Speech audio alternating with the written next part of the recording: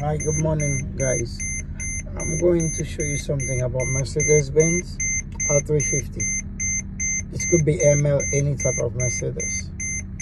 But I'm about to show you, do not panic. If you drive and then you see that message comes up onto your dashboard, drive to workshop without changing gears. It's not a transmission problem. The problem is you have a part from the transmission called ISM. ISM stands for Intelligent Servo Module. So uh, what happened is a part from the transmission, but it's the outside, not inside. So that one, if it's not working, it's a plastic gear. If it doesn't work, your car will not be able to change the gear because you see how Mercedes-Benz make um the gear. You see? Now I change. Look, everything is on park. You know, I remove the key at the ignition. I try to put it on first circle. Try press on the brake. Nothing happened.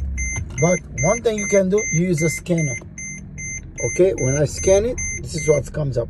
If you see you have a Mercedes-Benz code, okay, 1974, 1904, and 1922.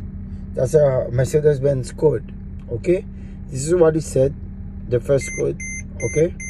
The system is down owing to internal fault in the compartment, okay? Intelligent servo model. So when you see that, do not be afraid. It's not the transmission is not engaged. And then what you do, I'm trying to make it engage. I delete the code. Sometimes when you click the code, and then the transmission, you're not gonna hear the sound beeping no more. You see, as soon as you don't see the hear that, look at the transmission. Now the transmission shifting on drive. You see, I put it on drive now, but it's not going on reverse. You see, I move, I move the car. You see, now the car moving on drive. So, but you gotta have a scanner to move the vehicle.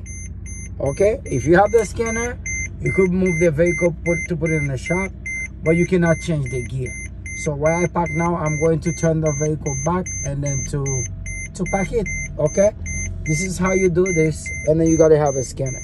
Thank you guys. This is Daddy Zebo. Please subscribe and share my video, and then thumbs up. I'll bring you more so you'll understand when you got that thing comes up do not be afraid it's not the transmission problem okay this is the uh, module that module someplace i'm come up when i take it out i'm gonna show you when i'm take it out and then when i put it on but i'm gonna buy one brand new already programmed so you could buy something plug and play. So i'll see you guys in the next video. Thank you